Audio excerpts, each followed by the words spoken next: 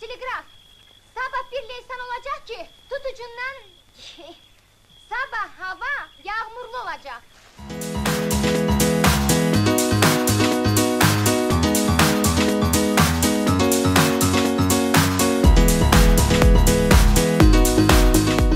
Yəqin ki, hava xəbərlərini izləyərkən bu cümləni tez-tez eşidirsiniz. Milli Hidrometeorologiya Xidmətindən verilən məlumata görə, bəli, bu gün məhz onların günüdür. Bu səbəbdən də biz meteoroloqların qonağıyıq.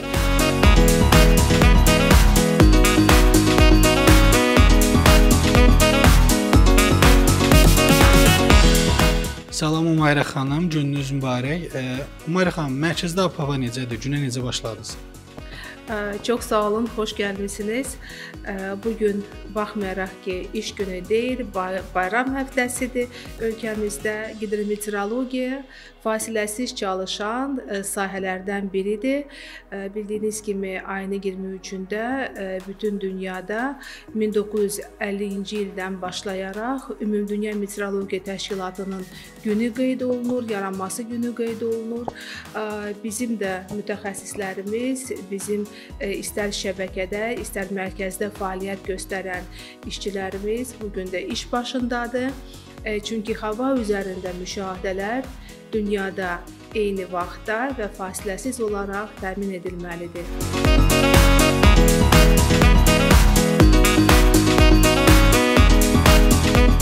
Ölkənin bütün çayları üzərində monitorinq aparılır, həm suyun keyfiyyəti, həm də yerli çaylarımızın və ölkəmizə daxil olan transsərhəd suların miqdarını ölçmək üçün. Bunu hidrologiya mərkəzində bütün hər gün məntəqələrdən məlumat alınır. Onların əsasında ölkənin su resurslarının vəziyyəti barədə, Kür çayının, Araz çayının, digər çaylarımızın vəziyyəti barədə məlumat verilir və tərtib olunan meteoroloji proqnozlara görə gözlənilən sululuğa dair də məlumat, proqnozlar tərtib edilir. hazırda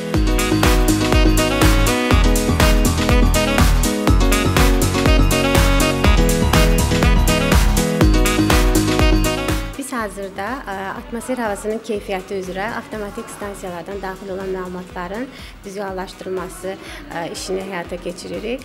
Daxil olan məlumatların təhlili və qiymətləndirilməsi aparılır. Əgər hava keyfiyyətində dəyişiklik olarsa, bununla bağlı əhaliyə xəbərdarlıqlar hazırlayırıq və ictimaiyyətə çatdırırıq məlumatları.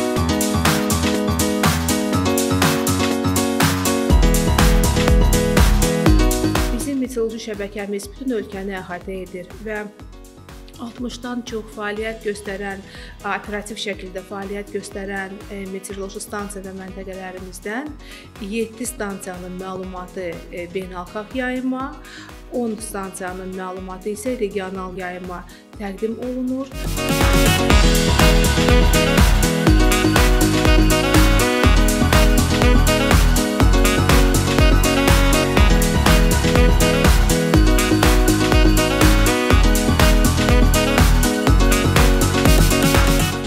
Proqnozları hazırlayarkən bir çox məlumatlardan, o cümlədən Türk Metkap sistemindən, peyk məlumatlarından, radar məlumatlarından istifadə edirik. Belə ki, bu Türk Metkap sistemində müşahidə etdiyimiz kimi yağıntılı hava şəraiti, küləkli hava şəraiti bu xəritədə öz əksini tapır.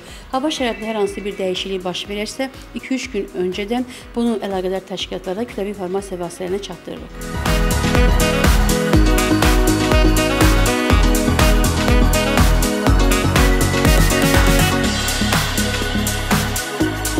Burada müşahidə şəbəkəsinin fəaliyyətinə nəzarəti həyata keçiririk. Bundan başqa deməli müşahidələri təşkil edirik və şöbənin adından göründüyü kimi müşahidə şəbəkəsinə metodiki təminatı həyata keçiririk. Bundan əlavə işğaldan azad olunmuş Azərbaycan Respublikası ərazilərində müşahidə şəbəkəsinin bərpası ilə bağlı fəaliyyəti həyata keçiririk. Aparılan layihələrin icrasına nəzarəti təşkil edirik.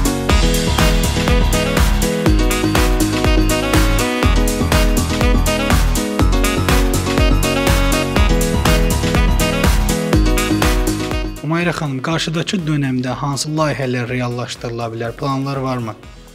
Bəli, əlbəttə ki, planlarımız bu sahədə var. Ümumdünya Meteorologiya Təşkilatının e, tövsiyələrinə uyğun olaraq 2030-cu ilə qədər ölkələrdə erkən xəbərdarlıq sisteminin yaradılması əsas şərtlərdən biridir. Azərbaycanda biz artıq bu prosesə başlamışıq. Erkən xəbərdarlıq sisteminin binövrəsi demək olar ki, artıq yaradılıb. Ən son nəsil olan e, Doppler radarların Şamaxı və Göygöl rayonlarında e, deməli işə başlanmasını qeyd etmək istərdim. Qeyd etdiyim həmin o iki çox müasir Doppler radar e, texnologiyalarının Azərbaycana gətirilməsi bizə imkan yaradır ki, azı 3-4 saat öncədən həmin regionlarda baş verə biləcək e, intensiv yağıntılar, qar prosesləri, dolu proseslərinin e, proqnozunu e, dəqiqliyi vermək, işğaldan azad olunmuş ərazilərdə də quraşdırılması planlaşdırılır və ən